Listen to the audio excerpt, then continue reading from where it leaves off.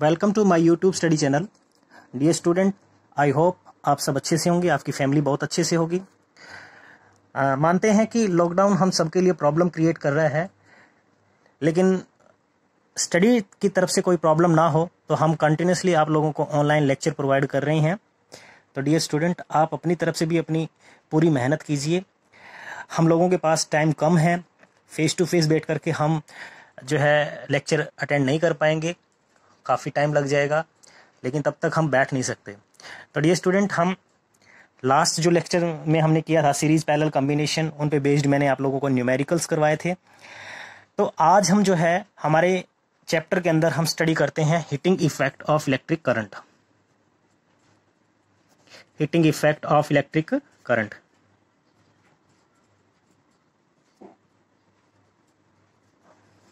इसको Joule heating effect of electric current के नाम से भी जाना जाता है।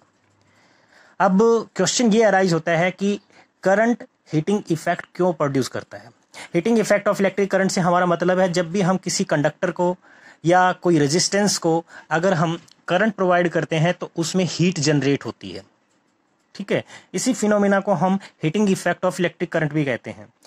जैसे आप लोगों ने देखा होगा इलेक्ट्रिक आयरन प्रेस जिसमें हम आयरन करते हैं तो वो गर्म होती है हीटअप होती है। इसी तरीके से आपने इलेक्ट्रिक रोड देखी होगी इलेक्ट्रिक टोस्टर देखा होगा। तो वो हीटिंग इफ़ेक्ट प्रोड्यूस करता है। तो वो हीटिंग इफ़ेक्ट क्यों प्रोड्यूस करता है? उसके पीछे की जो है आज जो बेसिक प्रिंसिपल है, वो स्टडी करने की कोशिश करेंगे हम। लेट सपोज़ हमारे पास में एक, ये कंडक्टर है। ठीक है? इसका रेजिस्टेंस है काफ़ी। इसका रेजिस्टेंस हाई है। और मैंने इसको एक बैटरी से कनेक्ट किया हुआ है। ठीक है? एक बैटरी से मैंने इसको कनेक्ट कर दिया। बैटरी इसमें क्या करेगी? पोटेंशियल डिफरेंस क्रिएट करेगी इस पॉइंट और इस पॉइंट के बीच में। बैटरी कभी भी आप ध्यान रखना, ना तो जो है चार्ज देती है और ना ये कह सकते कि वो करंट देती है। एक्चुअली में ये एक सिचुएशन क्रिएट कर देती है कि करंट फ्लो हो। दो पॉइंट के बीच में, दो टर्मिनल के बीच में पोटेंशियल डिफरेंस क्रिएट करती है, जिसकी वजह से इलेक्ट्रिक करंट फ्लो होता है, ठीक है? तो ये बैटरी का काम है। चलो हम अपने पॉइंट पे ही चलते हैं। तो ये कंडक्टर है जिसका एक रेजिस्टेंस जो है हमने कंसिडर किया कि हाई रेजिस्टेंस है और इसको मैंने बैटरी से अटैच किया है। अब इसमें हीट क्यों प्रोड्यूस होती है, इस चीज़ को समझने की कोशिश करते हैं। तो देखिए हीट जो प्रोड्यूस होती है, इसको थोड़ा सा माइक्रोस्कोपिक लेवल पे जाके देखते हैं। ये जो कंडक्टर आप लोगों को सपोज़ करो कि ये कॉपर से बना हुआ है तो मैंने आपको बताया हुआ है कि कॉपर जो है अपने आयंस कैसे बनाता है? सी यू टू पॉजिटिव और टू इलेक्ट्रॉन तो ये जो सी यू टू पॉजिटिव है, इसको हमने कहा था कार्नेल। ठीक है, ये पॉजिटिव चार्ज है। हैवी पोर्शन है। और ये जो दो इलेक्ट्रॉन है स्प्लिट अप हो गए, जो मोशन करेंगे। ठीक है? अब इसमें होता क्या है कि ऐसे ऐसे बहुत सारे कर्नेल्स जो हैं, जगह जगह पे बैठे होंगे ऐसे। कंडक्टर के अंदर बहुत सारे बैठे होंगे अलग अलग जगह पे। ठीक है? तो ये इस तरह की सिचुएशन है। और सपोज़ करो ये वो कंडक्टर है जिसकी हम बात कर रहे हैं, ठीक है? यहाँ से जो करंट फ्लो करेगा तो हो सकता है कि इलेक्ट्रॉन मान लो कि इस डायरेक्शन में ट्रेवल कर रहे हैं। तो इलेक्ट्रॉन जब जाएँगे इलेक्ट्रॉन को कौन प्रेशराइज कर रहा है कि वो फ्लो हो? वो है बैटरी हमारी। तो ये बैटरी क्या करेगी? इसको एनर्जी देती है इलेक्ट्रॉन्स को मूव करने के लिए। और ये इलेक्ट्रॉन तेज़ी से जाते हैं और ये पॉजिटिव चार्ज करने जो है, इनसे कोलिजन करेंगे इलेक्ट्रॉन्स कोलिजन करेंगे इनकी एनर्जी लॉस होगी हिटिंग के दौरान, ठीक है? यानी इनसे हिट करेंगे हिट करते ही जो है, या इनसे स्ट्राइक करते ही अपनी एनर्जी जो है इन पॉजिटिव चार्ज कर्नेल्स को सप्लाई कर देंगे ये इलेक्ट्रॉन फिर ये नेक्स्ट चलेगा, फिर कोलिजन करेगा यहाँ। जैसे वेलोसिटी बढ़ेगी, और कुछ दूर जाने के बाद, या हो सकता है इंस्टेंटली उसी टाइम पे ही किसी दूसरे पॉजिटिव चार्ज कर्नेल के साथ में टकरा जाएगा तो यहाँ फिर एनर्जी लॉस हुई। फिर इसको एनर्जी कंटिन्यूसली क्योंकि बैटरी कंटिन्यूसली एनर्जी सप्लाई करते रहती है। तो ये यहाँ से फिर कोलिजन करता हुआ, इधर, उधर जिग जैग मोशन में जो है ये मोशन करता हुआ जाएगा और अपनी एनर्जी डिस्ट्रीब्यूट करता हुआ जाएगा, देता हुआ जाएगा। अब होता क्या है कि अकेला इलेक्ट्रॉन नहीं आए इसके पीछे ढेरों इलेक्ट्रॉन है नंबर ऑफ़ इलेक्ट्रॉन्स है, वो सारे आएँगे और वो भी अपनी एनर्जी इस एटम को कंटिन्यूसली देते चले जाएँगे। तो ओवरऑल होता क्या है कि ये जो हमारा पॉजिटिव चार्ज करनेल है, इसकी एनर्जी धीरे धीरे धीरे धीरे इंक्रीज होती चली जाती है। अब ये एनर्जी जब इंक्रीज होगी तो इसके अंदर क्या आ जाती है? रेंडमनेस आ जाती है। ठीक ठीक है? ये क्या करता है? रेंडमनेस शुरू कर देता है। कंडक्टर के अंदर जो है हीट एनर्जी इसके अंदर जो है कहाँ से आ रही है? एक्चुअल में इसके अंदर एनर्जी जो स्टोर हुई, ये एनर्जी की वजह से वाइब्रेशन करना शुरू कर देगा और ये सारे एटम्स के पास में अकेला एक पॉजिटिव का चार्ज करने नहीं है। ये सारे के सारे जितने पॉजिटिव चार्ज करने हैं, इनके पास इसी तरीके से एनर्जी आई है और ये एनर्जी हमें हीट की फॉर्म में नज़र आती है। ठीक है? तो ये हीट जो है किस तरीके से जनरेट हुई है, वो मैंने आप लोगों को बताया तो अब जो है हीट का हम जनरल फॉर्मूला स्टडी करते हैं। कैसे जो हीट प्रोड्यूस होती है heat produced heat produced H से रिप्रेजेंट करते हैं। It is directly proportional to I square मतलब कितना करंट जो है हमने फ्लो करवाया है, उसके स्क्वायर के डायरेक्टली प्रोपोर्शनल डायरेक्टली प्रोपोर्शनल से मतलब ये प्रोपोर्शनलिटी का साइन है। मतलब भाई करंट अगर इंक्रीज हो रहा है तो हीट इंक्रीज होगी। और डायरेक्टली प्रोपोर्शनल है रेजिस्टेंस के। इस कंडक्टर का रेजिस्टेंस कितना है? ठीक है? जितना रेजिस्टेंस है, जितना ज़्यादा रेजिस्टेंस होगा हीट उतनी ज़्यादा प्रोड्यूस होगी। ठीक है? और डायरेक्टली प्रोपोर्शनल है टाइम ठीक है? ये तो हो गया हमारा करंट और रेजिस्टेंस को हमने लिया है आर और टी है हमारा टाइम ठीक है? टाइम को हम यहाँ सेकंड में लेंगे, ध्यान रहे। अब जो इस तरीके से आपने यहाँ तीन क्वांटिटी आप लोगों को नज़र आ रही है करंट रेजिस्टेंस और टाइम इन तीनों के डायरेक्टली प्रोपोर्शनल है। जितने ज़्यादा टाइम तक हम जो है करंट फ्लो करवाएँगे, उतनी ज़्यादा हीट प्रोड्यूस होगी। सो ओवरऑल हम इसको क्या लिख सकते हैं? Overall H is directly proportional to I square R T ये डायरेक्टली प्रोपोर्शनलिटी साइन को हटाने के लिए यहाँ पे एक कांस्टेंट के ले लेते हैं। आई स्क्वायर आर टी ये क्या है हमारा? प्रोपोर्शनैलिटी कांस्टेंट लेकिन इसकी वैल्यू जो है हमारी के इजिक्वल टू वन होती है। तो हम इसका फॉर्मूला जनरली क्या लिख सकते हैं? आई स्क्वायर आर टी ये फॉर्मूला बन जाएगा। ठीक है? ये हीट प्रोड्यूस का फॉर्मूला हुआ। हीट जो है हम किसमें मेजर करते हैं? हीट हम किसमें मेजर करते हैं? मेजर्ड इन कैलोरीज ठीक है? कैलोरी में मेजर करते हैं। वन कैलोरीज इक्व टू कितना होता है? Four point one eight joule के बराबर होता है। कई बार हम इसको फोर पॉइंट टू जूल भी ले लेते हैं। ठीक है? फोर पॉइंट टू जूल भी ले लेते हैं। तो ये हमारा हीट का जनरल फॉर्मूला हुआ। इसके अलावा भी और फॉर्मूले होते हैं। इसके अलावा फॉर्मूले कैसे बनेंगे वो भी समझा देता हूँ। भाई, अभी आपने क्या सीखा है? कि आपने कहा कि आई स्क्वायर आर टी ये हमारा एच होता है हीट हीट को हम एनर्जी से भी रिप्रेजेंट कर सकते हैं डब्ल्यू वर्कडन से भी रिप्रेजेंट कर सकते हैं, क्योंकि हीट एनर्जी और वर्कडन इन तीनों की यूनिट जो है जूल होती है। ठीक है? अब देखिए, हमें पता है कि v is equals to I R होता है, और आई इजिक्वस टू क्या कहोगे आप? I is equals to V by R तो इस फॉर्मूले में रख दीजिए।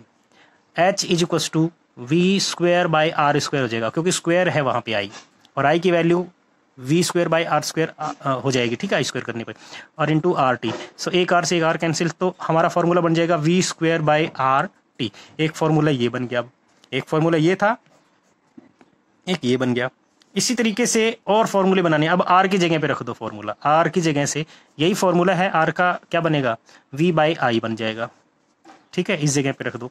तो H is equals to I square R की जगह पे लिखेंगे V by I into T I से I cancel so V I T एक फॉर्मूला ये बन गया। ठीक है? तो ये हमारे हीट के जनरल फॉर्मूले हो गए। तो हमारा ओवरऑल फॉर्मूला जो है, अब हम ऐसे भी लिख सकते हैं। H is equal to I square R T is equal to V square by R T is equal to V I T ठीक है? ये हमारा फॉर्मूला हो जाएगा। इसके अलावा हम इसको पावर इंटू टाइम भी लिख सकते हैं। क्या है यहाँ पे? पावर ठीक है इलेक्ट्रिक पावर इसके बारे में भी हम स्टडी करेंगे। तो ये हीट के फॉर्मूले हो गए हमारे। आई होप आपको अच्छे से समझ आ रहा होगा। और डी स्टूडेंट अगर आप फ़र्स्ट टाइम मेरे यूट्यूब चैनल पे आए हो तो ज़रूर से ज़रूर सब्सक्राइब कर लीजिए। मैं यहाँ पे नाइन्थ टेंथ प्लस वन और टू की फिजिक्स का डिटेल्ड सिलेबस जो है आप लोगों को करवा रहा हूँ। और अपने फ्रेंड्स सर्किल में भी ज़रूर से ज़रूर इन्फॉर्म करो और वो चैनल को सब्सक्राइब करवाइए। ठीक है? चलो नेक्स्ट चलते हैं हम electric power electric power P से रिप्रेजेंट करते हैं। इलेक्ट्रिक पावर का मतलब होता है एक्चुअल में, देखिए पावर को हम जनरली डिफाइन करते हैं rate of doing work rate of doing work यहाँ इलेक्ट्रिक पावर है। इलेक्ट्रिक पावर का मतलब यहाँ पे भी रेट ऑफ़ डूइंग वर्क है। ठीक है? रेट ऑफ़ डूइंग वर्क इसको हम बोल सकते हैं। लेकिन यहाँ वर्क कौन सा है? यहाँ पे इलेक्ट्रिकल वर्क है। ठीक है? तो हम इसको ये भी कह सकते हैं amount of electrical energy consumed in a circuit in given time ठीक है? It is defined as the amount of electrical energy consumed by circuit. Consumed by circuit in given time ठीक है? गिवन टाइम के अंदर। अब power is equals to हम लिख सकते हैं electrical energy divide by time taken ठीक है? अब पावर जो है, किसमें मेजर करते हैं? मेजर इन वाट वोल्ट नहीं है या वाट, ठीक है? तो एक्चुअल में one watt is equals to होता है one joule per one second तो वन वाट जो है हम किसी भी इलेक्ट्रिक अप्लायंस की पावर कब कहेंगे? जब वो one joule of work done करता हो पर सेकेंड में, ठीक है? या फिर ये कह सकते हैं one joule of energy consume करता हो पर सेकेंड तो हम उसको क्या कह सकते हैं कि उसकी पावर जो होगी वो वन वाट होगी, ठीक है? वन वाट डब्ल्यू जिक्वस टू जूल पर सेकेंड भी लिख सकते हैं। ठीक है? जूल पर गुलाम क्या था? ये था पोटेंशियल जूल पर सेकेंड क्या है? वाट ठीक है? अब इलेक्ट्रिक पावर की और भी यूनिट होती है किलो वाट किलो वाट का मतलब वन थाउज़ेंड वाट ठीक है? मेगा वाट मेगा वाट का मतलब होता है टेन की power six watt one giga watt giga watt means ten की पावर नाइन वाट ठीक है? ये चीज़ भी ध्यान रखना। वन हॉर्स पावर होती है। One horse power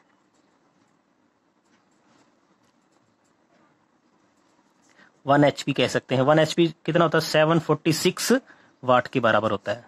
किसी भी मोटर की, ये मैं इलेक्ट्रिकल एनर्जी में भी थोड़ा आप लोगों को इसलिए बता रहा हूँ कि आपको पता हो रहे, याद रहे। इलेक्ट्रिकल एनर्जी में एचपी की यूनिट जो है यूज़ नहीं होनी हॉर्स पावर यूज़ नहीं होनी है। लेकिन मैं फिर भी आपको बता रहा हूँ, ठीक है? ये थोड़ा हटके बता रहा हूँ ये सब चीज़।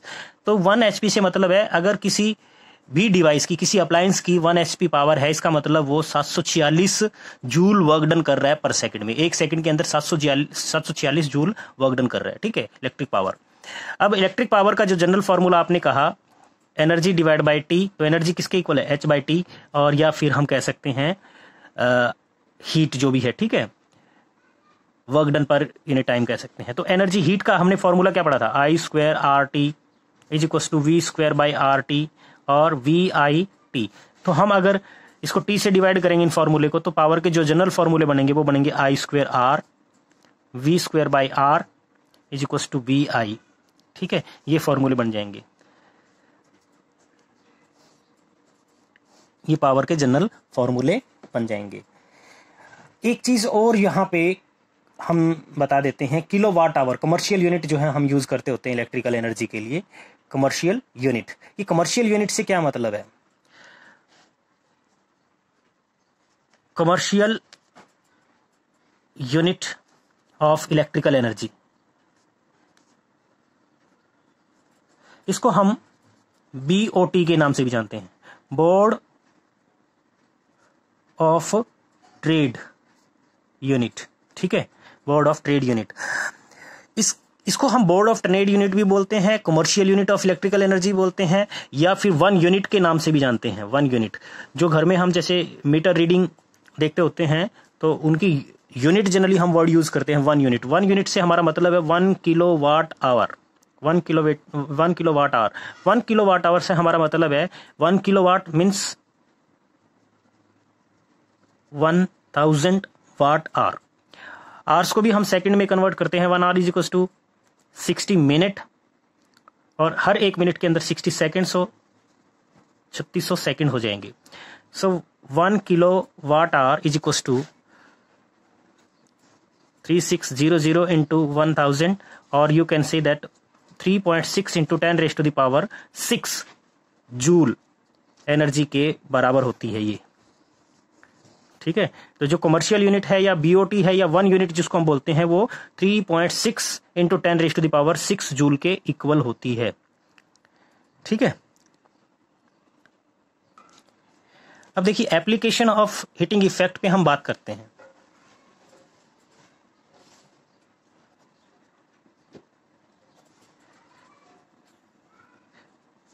एप्लीकेशन ऑफ़ हीटिंग इफ़ेक्ट से हमारा मतलब जैसे एक बल्ब है हमारे पास में। ठीक है? एक बल्ब है। इस बल्ब के अंदर हम इलेक्ट्रिक करंट देते हैं और ये ग्लो करता है। अब ग्लो करता है तो इसमें एक्चुअल में क्या चीज़ हो रही है? यहाँ पे एक फिलामेंट लगा होता है। ये फिलामेंट बहुत इंपॉर्टेंट है। ये फिलामेंट बना होता है टंगस्टन से। किससे बना होता है? टंगस्टन से। इसका मेल्टिंग पॉइंट बहुत ज़्यादा हाई होता है। क्यों फिलामेंट हम जो है टंगस्टन का ही यूज़ करते हैं इलेक्ट्रिक बल्ब में? तो ऐसा क्वेश्चन भी पूछा जा सकता है। हाई मेल्टिंग पॉइंट होता है टंगस्टन का। हाई मेल्टिंग पॉइंट ठीक है? और मेल्टिंग पॉइंट हाई है, इसके अलावा ये ऑक्सीडाइज नहीं होता हाई टेम्परेचर पे। Do not oxidize on high temperature जब टेम्परेचर बहुत ज़्यादा हाई हो जाता है, उस पर भी ये ऑक्सीडाइज नहीं होता। ऑक्सीडाइज अगर होगा तो जल्दी टूट जाएगा। ठीक है? और एक और पॉइंट है इट गिव्स वाइट फ्लेम ठीक है ऑन हीटिंग हीटिंग होने पे ये हमें वाइट फ्लेम के साथ में एक किस्म से कह सकते हैं कि जलता है। फ्लेम नहीं कह सकते इसको एक्चुअल में। आ, मतलब वाइट लाइट जो है हमें देता है एक किस्म से ये कह सकते हैं। तो सबसे इंपॉर्टेंट तो ये दो पॉइंट है। हाई मेल्टिंग पॉइंट होता है बॉइलिंग पॉइंट इसका हाई है और ऑक्सीडाइज नहीं होता हाई टेम्परेचर पे इसलिए हम टंगस्टन को यूज़ करते होते हैं। इसकी बिल्कुल थिन सी वायर हम यूज़ करते हैं। इतनी थिन सी वायर भी जो है हाई टेम्परेचर होने के बाद भी ये मेल्ट नहीं होती। तो ये इसकी वजह है, जिसकी वजह से हम इसको इलेक्ट्रिक बल्ब बनाने के लिए यूज़ करते हैं। हीटिंग इफ़ेक्ट को हम यूज़ करते हैं फ्यूज में भी electric fuse electric fuse electric fuse जो है, हमारा एक सेफ्टी डिवाइस है। सेफ्टी डिवाइस सेफ्टी डिवाइस से हमारा मतलब है, घर में जितने भी इलेक्ट्रिकल अप्लायंसेस है उसमें जो करंट जाता है, वो पहले इस इलेक्ट्रिक फ्यूज से होता हुआ जाता है। अगर बाय द वे बहुत ज़्यादा हाई पोटेंशियल आ जाता है इलेक्ट्रिक करंट ज़्यादा आ जाता है तो जनरली होता क्या है कि ये फ्यूज जो है, ये हमें सेफ्टी प्रोवाइड करता है हमारे अप्लायंसेस को। किस तरीके से करता है? जो इलेक्ट्रिक फ्यूज है it is generally made up of an alloy ये एलॉय से बना होता है, और वो एलॉय जो है टीन और लेड से बना होता है। टीन और लेड से। टीन सिक्सटी परसेंट होता है, उसमें लेड जो है आई थिंक फोर्टी परसेंट होता है। तो ये इसमें कॉम्बिनेशन होता है एलॉय का। ये टीन और लेड का जो कॉम्बिनेशन हमने यूज़ किया है, इसको क्यों यूज़ करते हैं? इसका लो मेल्टिंग पॉइंट है। लो मेल्टिंग पॉइंट और दूसरा high resistivity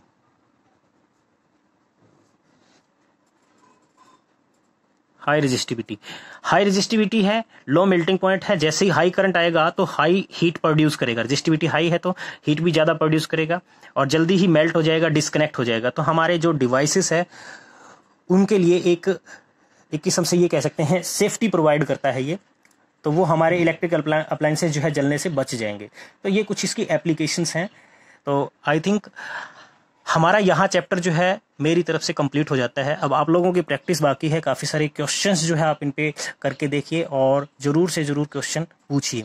अगर माय डियर स्टूडेंट मुझसे ये पीडीएफ चाहते हो जो चीज़ मैं यहाँ लिख रहा हूँ अगर इनकी पीडीएफ आप लोगों को चाहिए तो मुझे आ, कमेंट कर सकते हो। तो मैं आप लोगों को ये पीडीएफ भी प्रोवाइड कर सकता हूँ। Thank you and have a nice day